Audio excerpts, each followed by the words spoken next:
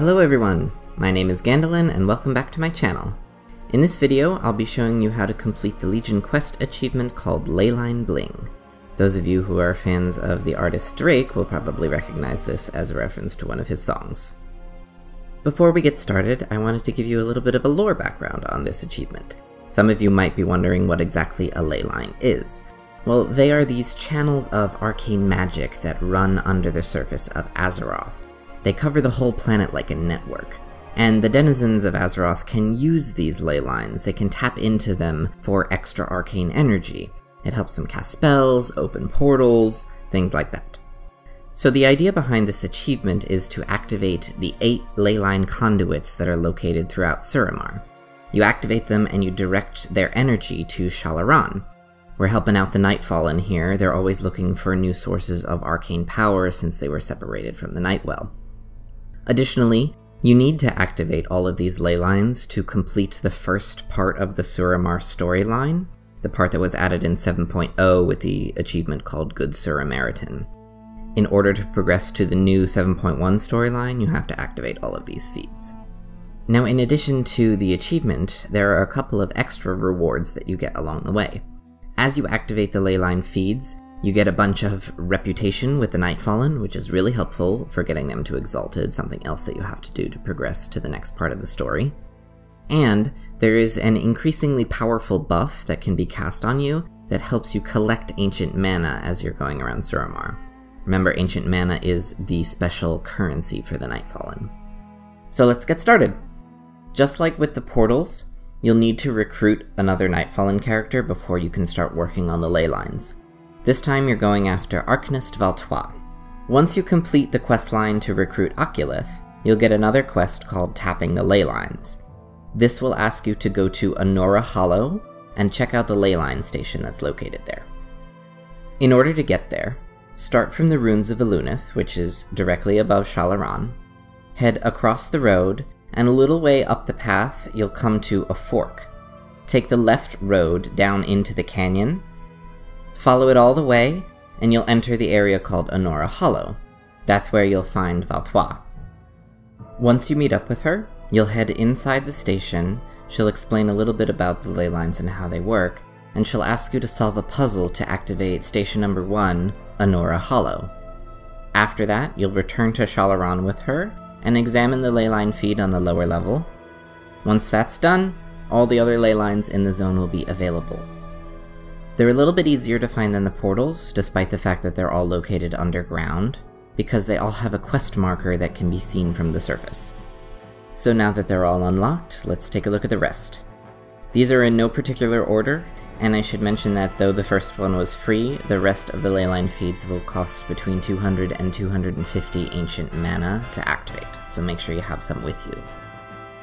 Leyline number 2 will be Moon Whisper Gulch. To find this one, you'll want to start at the Iron Grove Retreat Flightmaster. Head east and you're gonna run through a whole bunch of mobs. First there will be wolves, then basilisks, then mana sabers. Eventually, you'll come to a bridge that leads up to the Moonguard stronghold. You don't want to go over the bridge, but a little way down the hill, there's a river.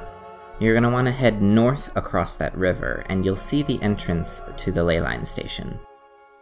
Once inside, head to the center area of the underground chamber, that's where you'll find the actual ley line itself. This one gives you a quest to acquire the Broken Ladar dish. This is located on the Ettin that's just back outside. He is elite, but you should be able to solo him as long as you avoid his two ground slam attacks. Once you have the dish, head back inside and give the conduit the dish and 200 ancient mana to activate it. Leyline number 3 will be Moonguard. Again, you're going to want to start at the Iron Grove Retreat Flightmaster.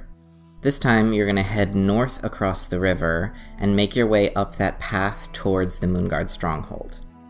Stop once you reach the stairs, and you're going to head west. You'll fall down a little bit and head across the river, and up the hill you'll find the entrance to the leyline station. Head inside, head to the center, and pick up the quest for this conduit. This one wants you to collect six leyline feed fragments from the elementals in the area. Once you have the fragments, give them and 200 ancient mana to the leyline to activate it. Leylines number 4 and 5 are both located in Falanaar, so that's where you're going to want to head next. The portal from Shal'Aran can get you there quickly, but if you don't have it yet, then just head to the western area of the map. There are several entrances, one at the Temple of Fal'adora, and another at the big hole in the ground. Once you're inside, you're going to want to go to the lower level where all the spiders are. Head for the room that's on the right side of the map. Once there, you'll have to defeat a couple of enemies. There is a rare mob that isn't too difficult to defeat. You'll accept the quest for the Falanaar North ley line, which requires 250 ancient mana. Once you're done with that one, you're going to want to head for the large circular room towards the bottom of the map. This is the Falanaar South leyline feed, and it also requires 250 ancient mana. If you want to get out quickly, you can continue along the southern path on the map.